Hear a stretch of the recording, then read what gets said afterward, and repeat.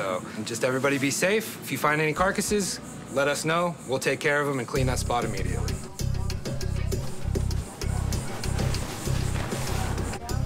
Seeing the hazmat team go into the house was kind of shocking because I just been living there and now they're going in like it's a toxic waste dump.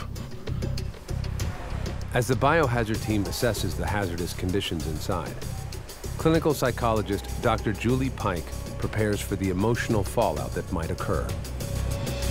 I am a little bit concerned that they are underestimating how difficult this day is going to be. And I think it will be very hard for them. I think a lot of feelings are going to come up, and I don't believe any of the three really have the tools to deal with challenging emotions.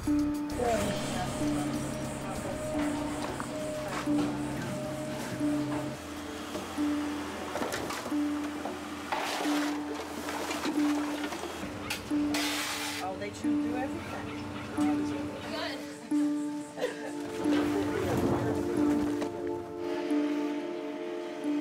While the haulers are making progress, it's becoming more difficult for the children to contain their emotions.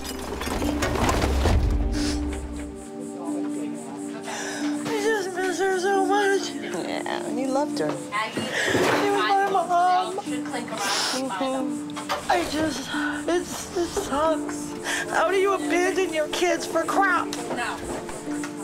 How? Somebody tell me how. I think today all three siblings are grieving in their own way. They're grieving the loss of the home, loss of their mother, and they're having to look at the reality of what their mother really lived in and the depth of her problem.